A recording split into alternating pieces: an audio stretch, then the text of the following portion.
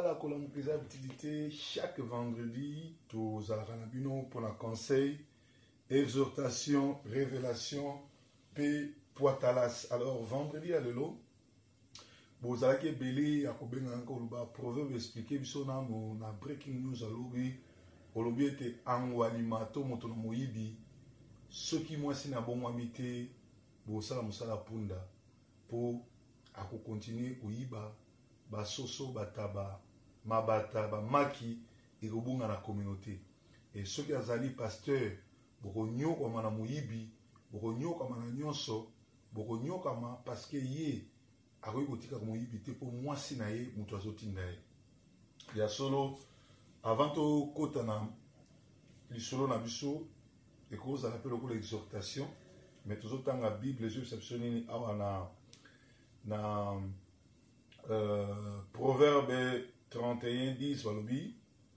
qui peut trouver une femme vertueuse, bah, ni soit commissage,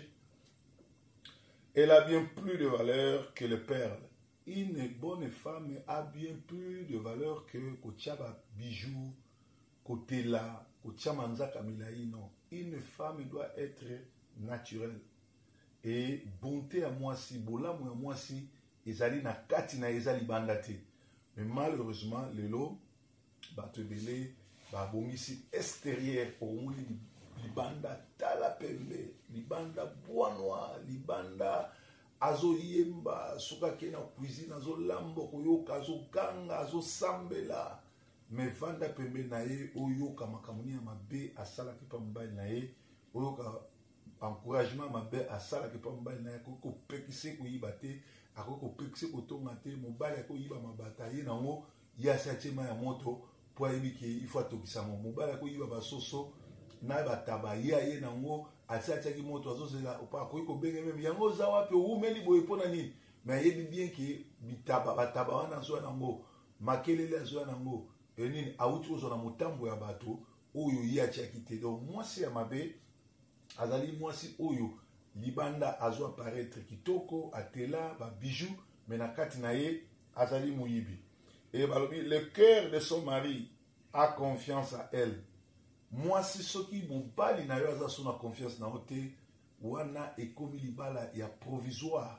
Soki pe mobali alembi kosalela yo zuwa, wana ekomi kaka libala ya provisoire. Soki mobali aza na confiance na yo te, soki mobali atimbeli yo que oza makambo mabe, wana ekomi kaka libala avanda kawa po na kobokola bana, c'est à dire ezali libala ya provisoire, esi bokabuana kala po alongola makanisi na ye, alongola eh, eh, eh, confiance na ye epa na yo, ekoma kaka vanda obokola bana, Ndenge baluba balobaka lwa kutu swamba yaka tovanda obokola bana po te ngai na yo motema eza sukuna te balobi lisusu ke et les produits ne lui feront pas défaut. Elle lui fait bien et non du mal. Mwasi ya malamu asalaka mobali na ye mabe te asalaka mobali na malamu siko imagine toi soki mobali ya batuler azalaka ye moko azalaki beni azalaki malamu banda ye oya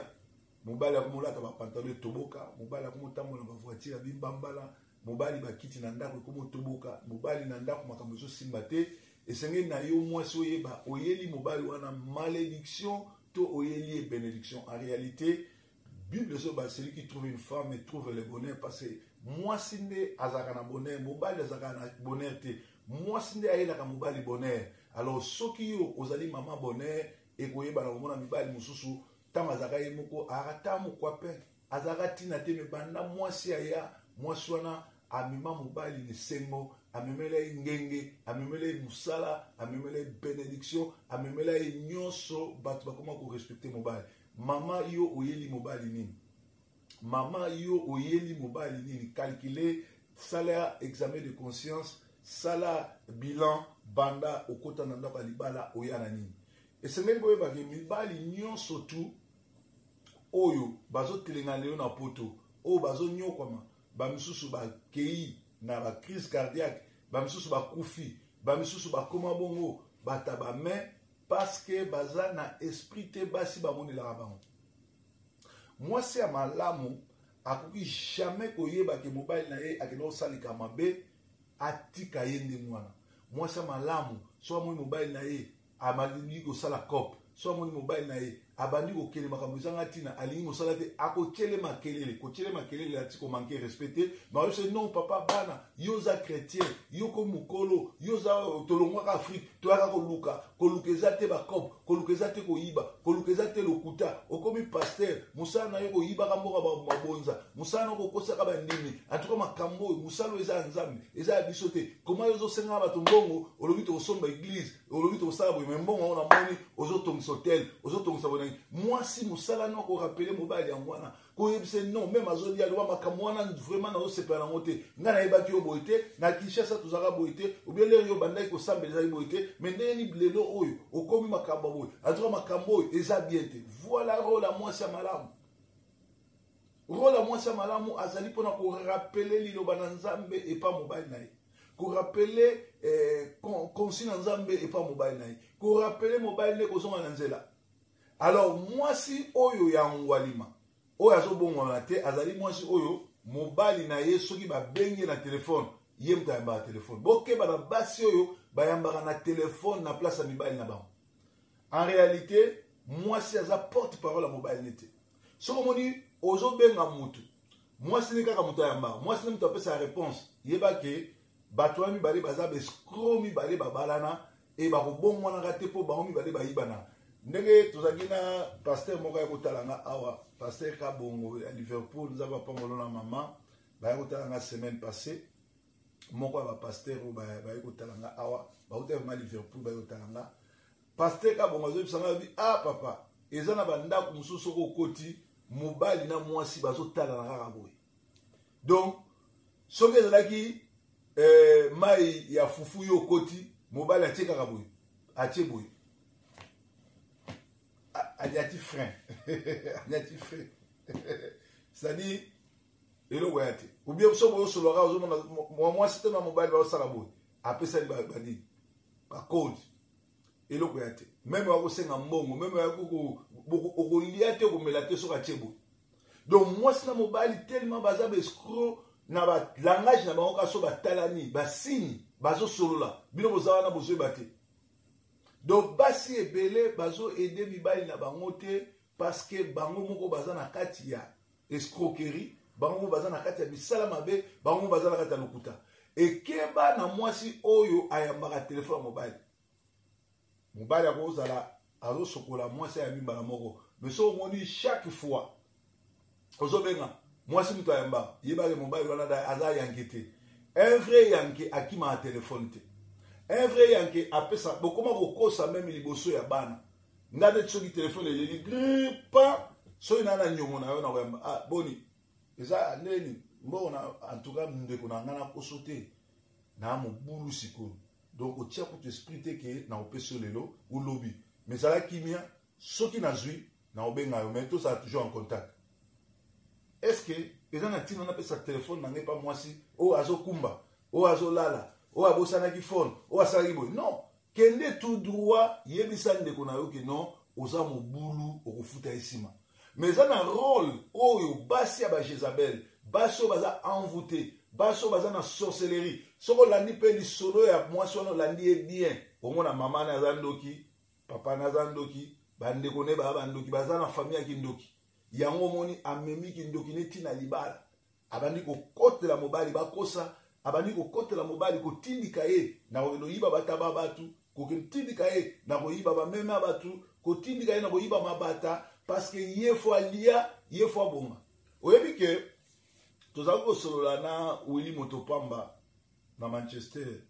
na matanga ya Edo Coiffure je crois ou bien nayebi so te place tokutanaka azokisa ngai bibo omoni ke proverbe ndenge yo olongwa poto oya koluka tolongola na etiketa pasteur ndenge ngai mpe wili moto pamba commerçant naye koluka ndenge mpe basi na biso baye koluka donc yo soki obengisi mwasi aye olie akota ayeba ke yo na ye bobandi foyer famille na bana na bino boluka ye azoluka famille na ye ebonga yo mpe ozoluka famille na yo ebonga bobosani sikoyo ke bana nde famille na bino okomonaka na poto eloko nini ezosalama mibali balukaka mingi mpo babongisa famille na bango basi mpe bazoluka mpo babongisa famille na bango omona bana mosusu bakokende classe bakeci ya kala bana mosusu bakokende classe uniforme epasuka bana mosusu bakokende na classe baza na bajoue te bana mosusu bakokende classe na bandako baji eza te bato wana bazangi mbongo te bato wana baa na mbongo baa na nyonso mai baza foye te baza famille te baza nano detache te bible ezoba l'homme kitera et la femme quittera les deux deviendront une seule chair et formeront une famille bato ebele ti lelo baza na couple bazobota bazali nanu bakita bafamille na bango te nanu mpe bakoma motu moko te preuve mpo oyeba ke bokoma motu moko te tuna mwasi apesa yo code ya karte na ye ya banke mobali ayebi te ayebi meme pas monta boni eza na kati tuna mpe mwasi mingi yebisanga pesanga code ya mobali na yo ya carte akopesa te pourkui bazopesana te parceke baza moko te parceke nanu bakomi ini te parceke nanu basekite te oyo toujours azodependre na famille na ye oyo mpe azodefendre na famille na ye basi oyo tobengisa na poto oye kolanda mobali famille reunion tuetuetuetu esengeli na bino oyebake bafamille na bino bayeba il faut koyebisa bango ke na ke libala mobali wana moto abengisi ngai do nake libala asitaki aluki ngai na poto basi baza ebele atiki basi ya poto abengisi nga tokende kosala foyer cestadire avant totindela bino avant tobongisa bino biso nanu tobonga bana na biso na bazala bien mais lelo eza rare omona bana bake kolia na macdonald lelo eza rare omona baparent bavoyage na vacances bake ensemble tout simplement parce que baza na bacharge ya bafamille basundoli vrai famille na bango eza bana bango bazobota toza baafricain il faut toassiste bamembre famille na biso il faut toaide bango il faut toorganize kobonga na bango tobengisa mpe bamisusu mais il faut tosala yango en communion consulte mobali na yo consulte mwasi na yo yebisa mwasi na yo vision nini oza na yango likambo nini olingi osala ekamwisa ngai namona mwasi na mobali kobunda na agence na ndako baa na problème biloko ya kolia eza te gaz kutu eza te eza na bandako mosusu neti tokomi na hiver boye bana bazolala na badra na bacouverture batiaka gaz te batiaka gaz te ndeko tokomi na hiver botiaka gaz na bandako na bino bosombela bana bateni ba, ba, ba, ya hiver bajaquette batricot baketi bachaussette eza na bato mosusu bayali awa soki otali bana ne bajakete bazolata na malili soki otali oke na ndako oyoka malili moko ndeko oza libanda eza mpasi mpe mawa bozovivre na poto me bozo na elengi ya poto te alors c'est-à-dire que mwasi na mobali il faut bakoma bomoko me lelo oyo tozomona mwasi akoya soki mwasi akoti na ndako na yo aye ayaka na 10 valise na ye abanda okotisa yango moko moko valise ya liboso akokotisa abandi koforce yo ozwa charge ya yi ya bamama na bango na ya baleki na ye oyo babota bota na kinshasa kuna baleki na ya basi na mibali bamisusu parfois baya na ndako ya mabala babandi kooblige yo ofutelaka bango bandako otindelaka bango babilamba donc ekomi mwa plan na bino chaque mois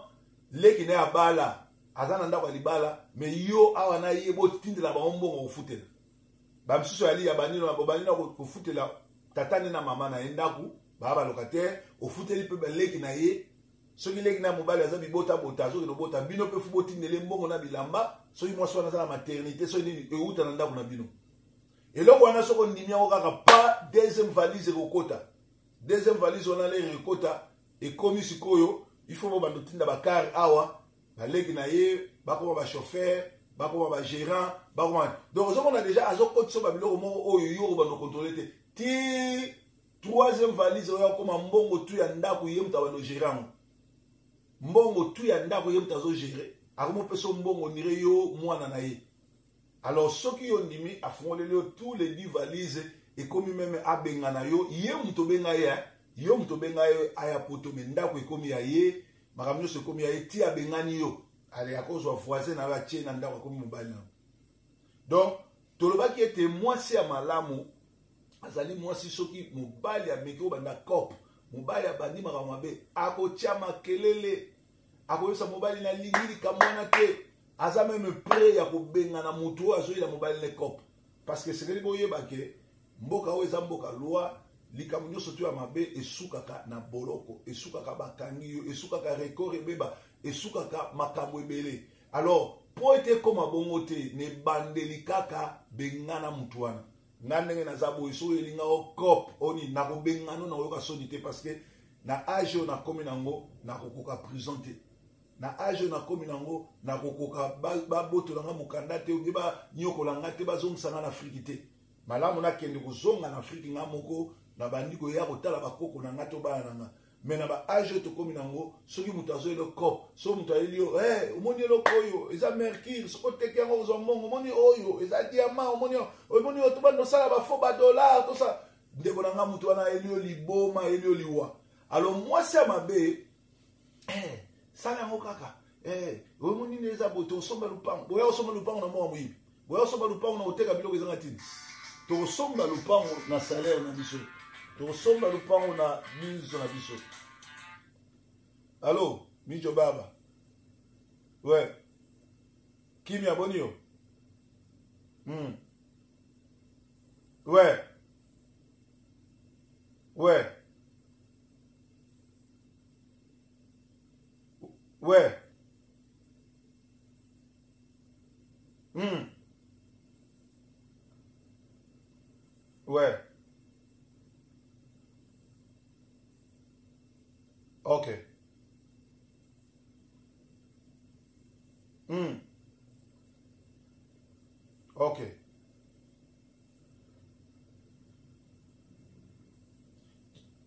tosala boye ngai nazosala émission nasilisa nabenga yo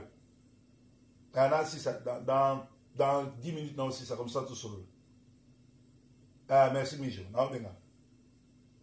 sori bolimbisi parce que awa bato babengaka mingi wana ezalaki lisolo moko très important wana yambaki moyen tokontinue yango eza te puisque nakobenga ye mpe tosolola c'est-à-dire toza koloba ke Mwasi ya solo, mwasi malamu, apekisaka mobali na ye akende koyiba, apekisaka mobali na sala cop, apekisaka mobali na ye atambola na bakamarade ya mabe, bakamarade oyo batekaka putulu, bakamarade oyo bazo utilize bana bato ya mike na kati ya communauté, bakamarade oyo baza ba role model te. Yango Bible elobi mwasi ya malamu azali bongo. Pe soki omoni moto azali angwalima azali moyibi eke aza na mwasi oyo encourageaka ye na kocontinue koescroke na kocontinue koyiba ke azali koencourage na kosala mabe moto wana akobongwana te soki aza paster bokolela akocultive akomultiplie bastratégie na église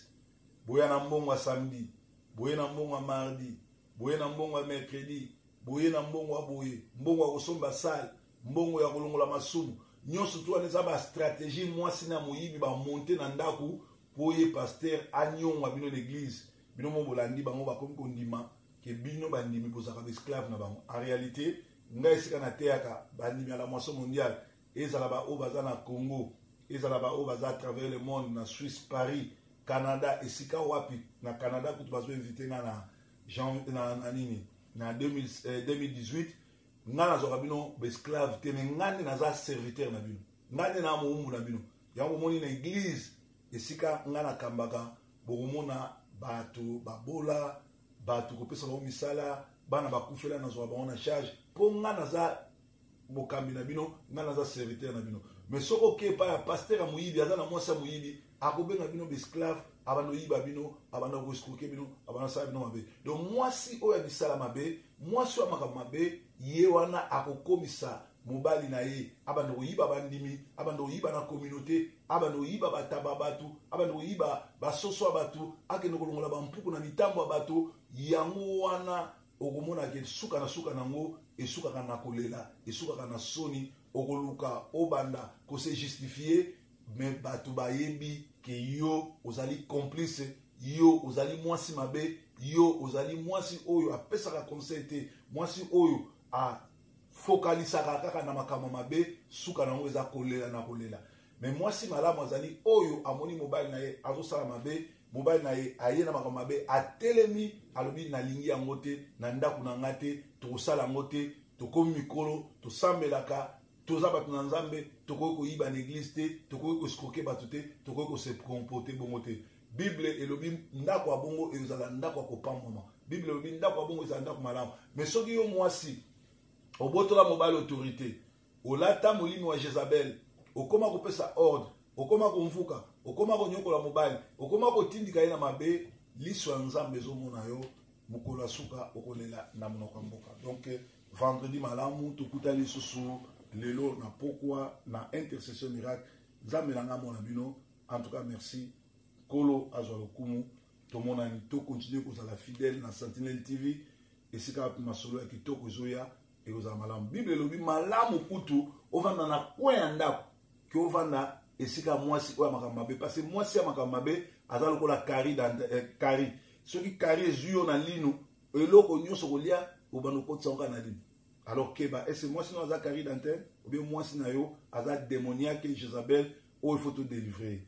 ezalaki mate ya lelo journée malamu tokutani lisusu na po merci bye bye for now